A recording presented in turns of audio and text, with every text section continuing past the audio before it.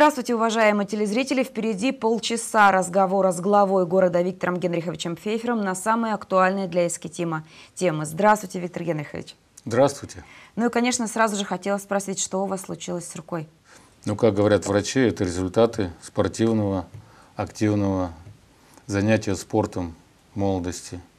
Пока был помоложе, она побаливала иногда, проходила, а тут в марте месяце немножко дал сильную нагрузку на плечевой сустав – 25 мая прооперировали, и вот сейчас нахожусь на периоде реабилитации. Я активно занимался волейболом, борьбой самбо занимался, любил играть настольный теннис, а это такие активные виды спорта, особенно для мышц, поэтому они дали свой результат. Выздоровления вам скорейшего. Ну, а мы продолжим программу. У нас есть много вопросов, в том числе от эскетимцев. Первый вопрос. А какое значение эскетим имеет э, среди городов э, России, таких крупных, как Москва, Санкт-Петербург, вообще знают что-либо об Искитиме в России? Я думаю, любой населенный пункт, любая территория важна для Новосибирской области. И город Искитим, конечно, занимает свое, на мой взгляд, очень важное место. Потому что город Искитим – это город, строящий города. Э, это самый крупный промышленный центр нашей Новосибирской области, который производит строительные материалы. И несмотря на то, что в последние годы появились новые промышленные центры в Новосибирской области, значимость нашего города как центр производства промышленной продукции, именно строительного направления, оно не меняется. Но несмотря на то, что в последнее время инвестиционная активность снизилась в связи с э, кризисом в экономике, тем не менее у нас в городе все-таки остается большой потенциал. И вот сейчас в связи с тем, что создана агломерация Новосибирской области, мы как бы являемся южными воротами в город Новосибирск. И тот кластер, который сегодня создается на базе Искитима, Берска, Искитимского района по производству строительных материалов, он будет в дальнейшем иметь очень важное значение для развития нашей новосибирской агломерации. Есть проблемы общероссийские, такие как кризис, всем известно, да, есть проблемы чисто местные. Вот э, хотелось бы узнать, э, на ваш взгляд, какие проблемы для Эскетима сегодня являются наиболее острыми? Это э, проблемы роста есть такие, да, когда потребность граждан увеличивается, они хотят иметь больше каких-то услуг и так далее. А есть проблемы, которые давно существуют, но годами не решаются. Вот у нас в Искитиме в свое время одной из серьезнейших проблем была проблема экологии. В 80-е годы наш только один цементный завод выбрасывал в атмосферу города 72 тысячи тонн вредных веществ в год. Сегодня весь город выбрасывает 12 тысяч тонн. При этом цементный завод только 5 тысяч тонн. А транспорт, который сегодня есть в городе, выбрасывает половину от этого количества выбросов как бы вот с этой проблемой сегодня она ушла на второй план у нас. Хотя все равно этой, этой проблемой надо заниматься. Проблема серьезной была у нас эта проблема капитального ремонта мостов и путепроводов. Сегодня практически мы эту проблему свели до минимума. Конечно, мы ее полностью не сняли. Мосты эксплуатируются, изнашиваются, и надо будет постоянно поддерживать. Но львиную долю мостов и путепроводов, шесть, мы их отремонтировали, сегодня привели в порядок. Одна из проблем, которая многие годы уже решается, но она все-таки еще остается, это обеспечение жителей нашего города чистой водой. Я думаю, что не открою большого секрета, если скажу, что не все еще улицы частной застройки, частного сектора имеют централизованное водоснабжение. И над этой проблемой нам еще предстоит работать. Не все еще улицы имеют уличное освещение. Это тоже одна из проблем.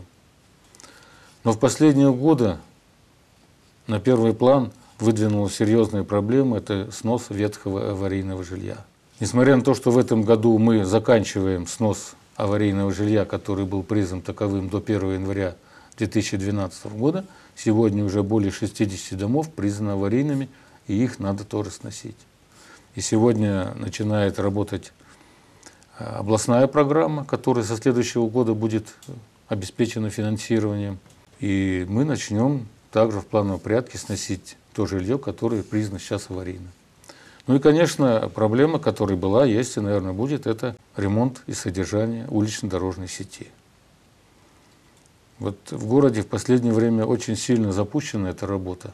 Она запущена не потому, что плохо работают наши дорожники, а в связи с тем, что львиная доля средств уходила на ремонт мостов путепровода. Я думаю, эта проблема останется, и нам придется ее в ближайшие годы решать. В этом году, я думаю, мы многое решили уже, в прошлом, в этом году, но и много еще предстоит сделать. То есть эту статью расходов так и не развели. Я помню, были разговоры о том, чтобы развести две статьи расходов в Искитиме конкретно. То есть в правительстве эту меру Нет, не приняли. Пока в правительстве такое решение не принимает, хотя Искитим, наверное, единственная территория в Новосибирской области, имеющая такое количество мостов и путепроводов. Но тем не менее, решение о разделении этих целевых средств на, отдельно на искусственные сооружения на дорогах и отдельно на уличную сеть, пока решение такое не принято. Но мы будем надеяться, что средства, которые нам будут выделять ежегодно, будут, вот по нашим подсчетам, нам необходимо не менее 60 миллионов, чтобы содержать в нормальном состоянии улично-дорожную сеть. Ежегодно? Да, ежегодно. А дают сейчас сколько? Ну, вот в этом году, если говорить про путепровод и про окончание кольцевой развязки в прошлом году, это порядка 90 миллионов в этом году. В следующем году пока в плане стоит 28, но мы надеемся, что с учетом того, что в следующем году год, год у нас юбилейный, городу исполнится 300 лет, и по программе должно быть 69, мы надеемся, что эта цифра будет восстановлена, и нам выделят в следующем году 69 миллионов. У нас э, было запланировано несколько моментов в Искитиме по ремонту дорог. В частности, это реконструкция улицы Комсомольской, а, насколько я знаю. Вот в этом отношении сейчас как? Что планируется в этом году и что планируется на следующий год? Улица Комсомольская разбита на три этапа. Первый этап – это от железнодорожного вокзала, включая привокзальную площадь, до улицы Пушкина. Этот участок стоимостью порядка 48 миллионов рублей. Второй этап – это от улицы Комсомольская до улицы, от улицы Пушкина, извините, до улицы Советская, там порядка 28 миллионов рублей. И третий этап – от улицы Советской до моста через реку Берть. Это в этом году будет? В этом году уже прошел конкурс на второй этап. Он у нас более такой проблемный. И исходя из наличия средств, которые мы располагаем, прошел конкурс вот на второй этап от улицы Пушкина до улицы Советская.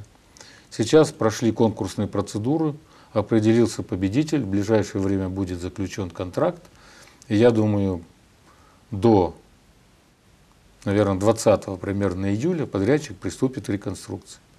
И сегодня, с учетом поправок, которые вносятся областным законом в расходы по улично-дорожной сети города Искитима, нам добавляет немного средств. Мы начинаем торг, проводить торги по третьему этапу от улицы Советская до Комсомольская. С таким расчетом, чтобы в следующем году, к юбилею города, это, этот участок закончить. Кроме того, в этом году вот сейчас мы уже конкурсные процедуры практически объявили. Мы будем ремонтировать текущим ремонтом дорогу от, путь, от железнодорожного переезда в микрорайоне Ложок до кольцевой развязки. А возникли ли какие-то вопросы, связанные с реконструкцией путепровода, которых, э, проблемы которых не ожидал ни заказчик, ни подрядчик? Наоборот, я бы сказал, что очень, скажем так, грамотно установленные сроки прошли все ремонтные работы. То, что мы планировали закрыть путепровод на зимний период, э, вернее открыть путепровод в зимний период в начале ноября, мы точно в эти сроки открыли путепровод для зимнего периода. Весной точно установленные сроки подрядчик вновь приступил к выполнению работ. И как мы обещали эскетимцам, до 10 июня все работы были закончены, и движение по путепроводу вновь было открыто. Все работы были выполнены в срок. Что касается кольца в Подгорном микрорайоне, то там я бы не сказал, что сильно серьезные проблемы возникали, но определенные вопросы возникали в самом начале строительства, когда были обнаружены некоторые недочеты в проектно-сметной документации, связанные с тем, что вот та водопропускная труба, которая под кольцом идет, там с отметками не совсем было правильно, привязка была не совсем точно сделана с учетом уровня грунтовых вод, которые там есть. Это приходилось в процессе все это уточнять. Основные работы там сегодня тоже выполнены. Но объект пока не сдан. Там заканчиваются еще работы, связанные с, с некоторым окончанием работ по тротуарам. Еще не выполнена разметка по кольцевой развязке. Но я думаю, в самое ближайшее время разметка будет выполнена и объект будет также сдан. Но он сегодня функционирует, движение открыто, и это тоже нас радует. Насколько я помню, э, там произошли какие-то перемены с магистральным водоводом, который шел где-то в районе кольца, его куда-то перенесли. Вот э, для чего его, этот был перенос сделан, да, какие проблемы это решит? Ну, я думаю, что автомобилисты помнят, э, что на кольце в Подгорном микрорайоне поступя, постоянно были провалы. Но эти провалы были связаны с тем, что прямо под кольцом проходил магистральный водовод диаметром 500 миллиметров – стальная труба, которая максимально изношена и имела очень много свещей. Сейчас методом бестраншейной прокладки, проколом от магазина «Апельсин» будет проложен подземный водовод диаметром 500 только из полиэтиленовых труб через улицу Молодежная в район частного сектора, а потом будет прокол под Балдаковкой в сторону э, Сбербанка. И это будет сделано в диаметре 500 мм полиэтиленовая труба, и в районе чактного сектора будет сделан отвод диаметром 200 мм задвижкой для перспективы обеспечения водой улиц частного сектора. В начале нашей программы мы уже коротко коснулись э, темы того, что да, есть проблемы с ростом, как вы сказали, экономическим благосостоянием людей в первую очередь. И вопрос вот какой. Да, казалось бы, мы находимся, в общем-то, все в одинаковых условиях, да, у всех одинаковый уровень жизни, все хотят одинаковых э, вещей, одинаково хорошо кушать, но тем не менее уровень заработной платы оставляет, э, имеет некую такую территориальную разграничение, то есть чем дальше от э, Новосибирска, тем меньше заработная плата. Вот что это в экономике такое заявление? Ну, вы знаете, вы в чем-то правы.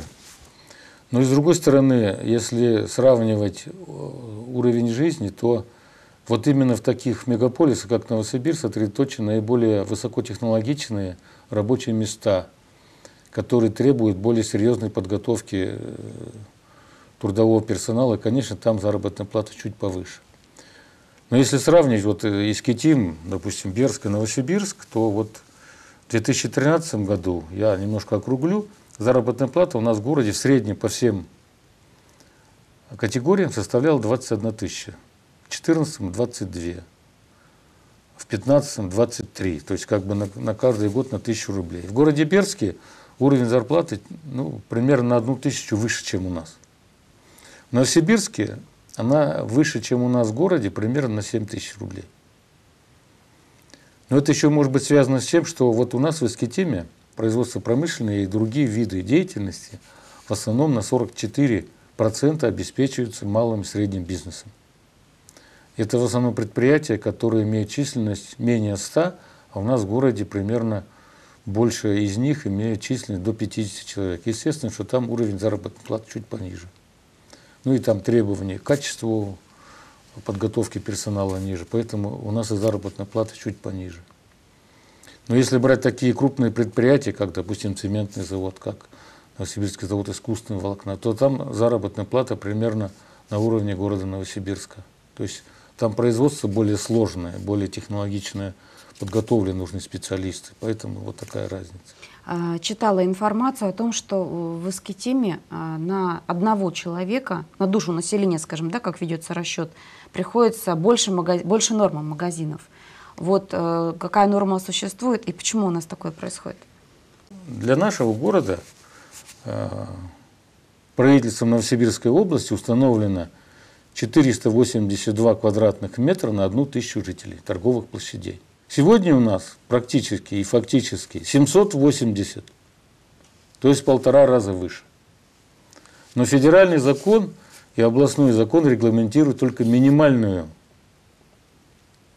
площадь, которая необходима для обслуживания населения. То есть это характеризует степень доступности жителей торговыми э, площадями. Вот у нас несмотря на то, что мы минимальный норматив в полтора раза превышаем, тем не менее вы видите, что в городе продолжают строиться торговые павильоны, магазины, угу. супермаркеты. Но это говорит о том, что потребность еще есть, торговля нуждается в этом, и нуждаются жители, поэтому Это регламентирует рынок. Что касается офисных помещений, то они как бы законом не регламентируются, а регламентируются законами бизнеса и потребностями самих бизнесменов, самих корпораций в том, какие нужны площади. И исходя из этого они строятся. А, Все чаще также мы на улицах Аскетима а, видим да, а, приезжих людей, приезжих граждан, граждан Узбекистана, Таджикистана. Причем, если раньше они приезжали к нам, то есть ну, в приоритете мужчины, да, то сейчас они приезжают семьями, везут э, жен, везут детей. И, в общем-то, они работают уже группами в городе Искитиме. Вот э, в качестве да, кого? Они временных жителей к нам приезжают? Ну, вы правы. В последнее время не только у нас в городе, и в Российской Федерации есть серьезные тенденции по использованию иностранной рабочей силы. Но эта тенденция и имеет и место у нас в городе.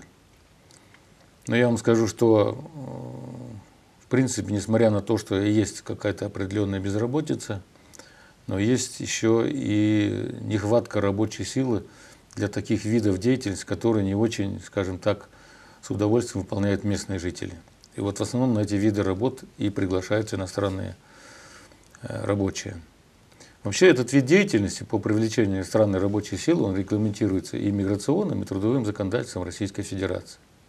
Ежегодно правительством устанавливаются определенные квоты на количество приглашаемых иностранных граждан для предоставления им работы на территории Российской Федерации. При этом российская организация, которая хотела бы привлечь иностранную рабочую силу, она должна сделать заявку и защитить свое право на приглашение иностранной рабочей силы. Она должна обосновать, почему, зачем и с какой целью приглашаются иностранные рабочие силы. И потом эта организация должна содействовать иностранным гражданам для того, чтобы они получили индивидуальное приглашение, которое действует в течение года.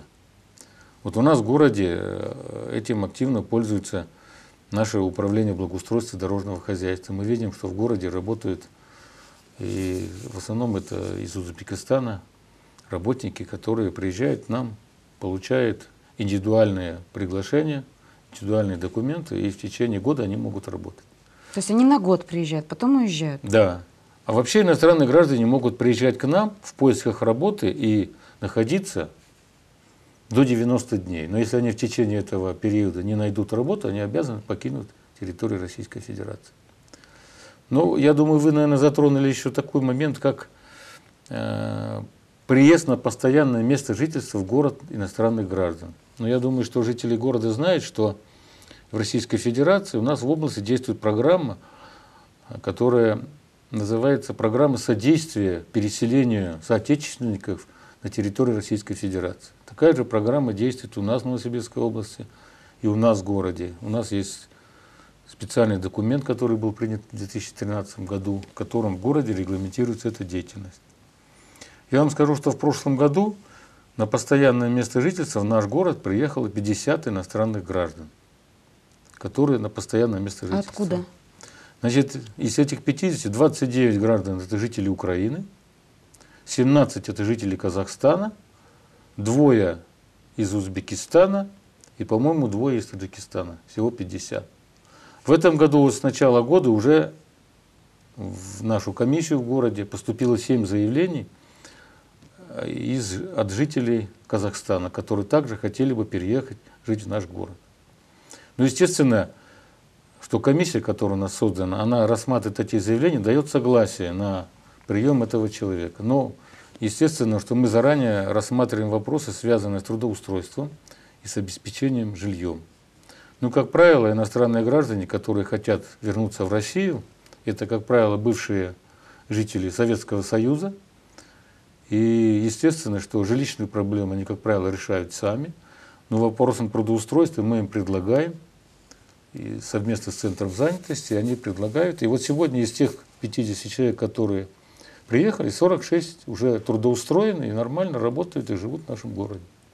А вот э, на ваш взгляд, насколько Искитим вообще привлекателен для жизни? Знаете, ну может быть это мое субъективное мнение, но мне кажется, наш город по большому счету привлекателен. Вот на мой взгляд, смотрите, вот что является привлекательным для человека, который живет в городе, имеет семью, имеет детей, это чтобы нормально функционировали, функционировали дошкольные учреждения.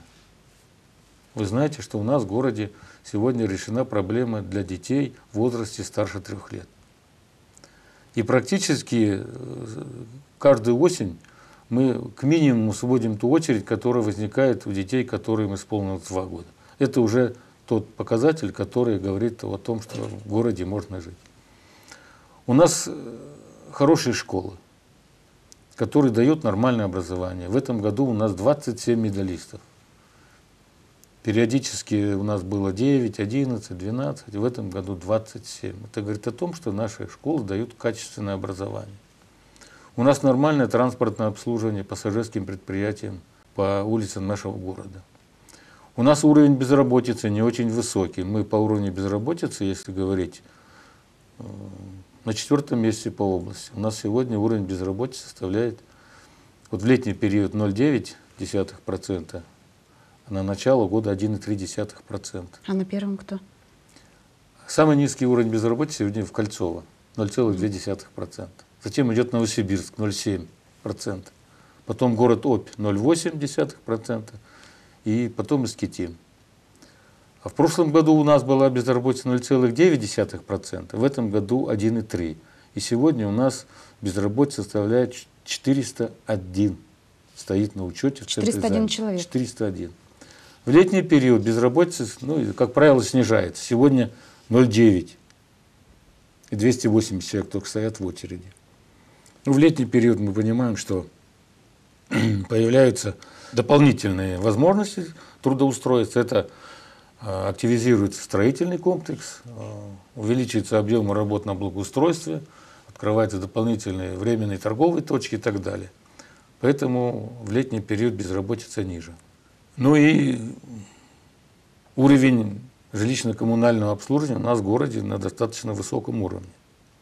Поэтому я считаю, что наш город достаточно комфорт, комфортный для того, чтобы здесь жить и работать. Последние годы значительно улучшилась экология в городе. Вот вы вначале затронули вопрос обеспечения торговыми площадями. Это тоже как один из показателей. Другое дело, что мы пока не можем конкурировать с Новосибирском по обеспечению досуга, отдыха молодежи, допустим, тот же парк у нас пока еще не отвечает современным требованиям. Но я думаю, в ближайшее время этот вопрос будет решен. Поэтому, на мой взгляд, наш город достаточно привлекателен для того, чтобы в нем жить, воспитывать детей и так далее. Поэтому я очень люблю свой город и считаю, что это лучшее место в Новосибирской области для того, чтобы жить и работать здесь. Э, вы коснулись немного сферы ЖКХ, того, того, что она у нас работает э, нормально.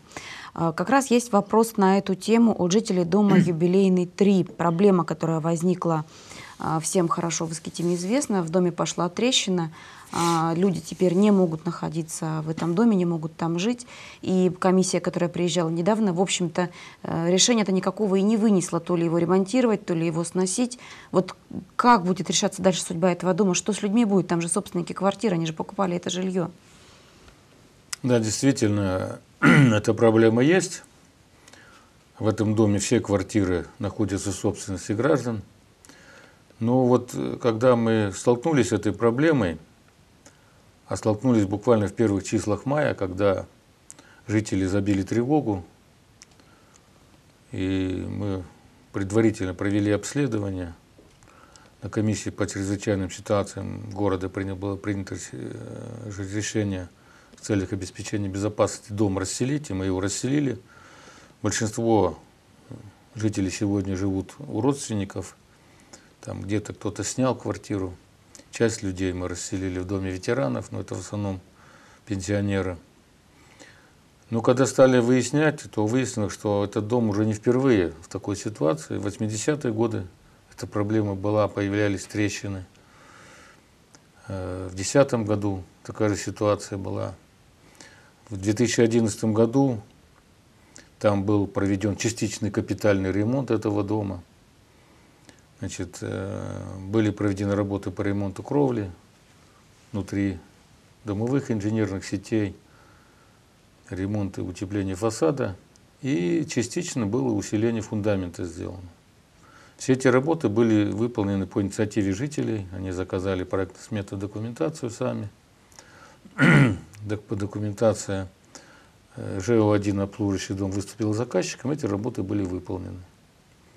Сегодня ситуация вот э, в этом году вновь повторилась. То есть это говорит о том, что эта ситуация периодически повторяется. Поэтому мы вместе с управляющей организацией приняли решение, что надо провести серьезное обследование. Была приглашена организация, которая имеет лицензию на эти цели.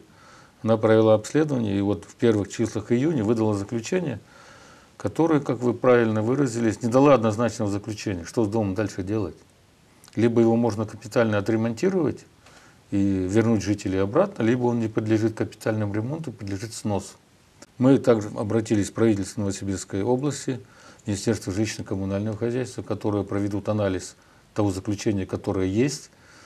И вот по результату обследований, которые сделает СГУПС, мы будем уже окончательно принимать решение. Я думаю, это решение, конечно, будет принято совместно с правительством Новосибирской области поскольку даже независимо от того, капитально ли мы будем ремонтировать этот дом, либо более серьезно какие-то решения принимать, конечно, думаю, нам это не под силу, ни бюджету города, ни э, жителям этого дома, потому что э, средства придется аккумулировать, я думаю, из трех источников, средства жителей, средства городского бюджета и средства, наверное, правительства Новосибирской области. Я думаю, решение окончательно будет принято в течение июля месяца в конце нашей программы я не могу вас не спросить о, о тех разговорах, которых сегодня ходят в Искатиме относительно вас.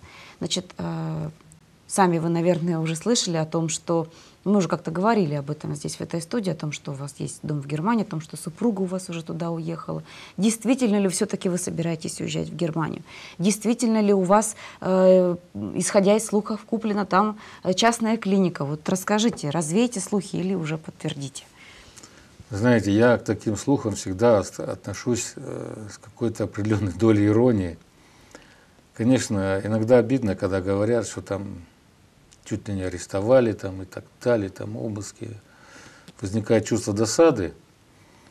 Но одновременно я понимаю, что жителям очень интересно, а почему главы нет, почему, где глава, что с ним происходит. Конечно, я, вот то, о чем говорят про Германию – это вызывает у меня чувство иронии, потому что если я не уехал в Германию в 80-е годы, когда активно э, российские немцы уезжали туда, то сегодня вряд ли это реально. И я настолько, как говорят, россиянин, что даже об этом не помышляю. Я родился в России, а сегодня я искитемец, думаю, что и до последних дней своей жизни буду жить в нашем любимом для меня городе Искитиме. О том, что где-то что-то я купил, где-то жена уехала, ничего подобного. Моя жена, она всегда рядом со мной, она мой первый помощник, первый советник. И, конечно, сегодня она дома. Никакая Германия, никакая клиника, тем более, о том говорят, это все неправда. Я думаю, кто-то, может быть, это умышленно распространяет эти слухи. Но хочу сказать жителям города, никуда я не собираюсь, никуда я не уезжаю. Я просто какое-то время нахожусь на больничном, сегодня на реабилитации, этом процессе. Я всегда рядом с вами, я люблю город, я люблю вас, уважаемые жители города. Поэтому прошу помнить и знать, что я всегда здесь, я рядом с вами. Выздоравливайте, Виктор Генрихович. Уважаемые телезрители, сегодня мы говорили с главой города Эскетима Виктором Фейфером. Всего вам доброго и до встречи.